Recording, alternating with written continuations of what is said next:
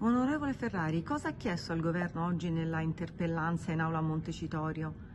L'interpellanza riguardava la realizzazione del tratto di bypass ferroviario della città di Trento che è un tratto del corridoio ad alta, ferroviario ad alta capacità, ad alta velocità eh, che va dai paesi scandinavi a Malta e che eh, nella parte cittadina interessa, attraversa un'area inquinata da piombo tetretile. La richiesta fatta al governo è ehm, che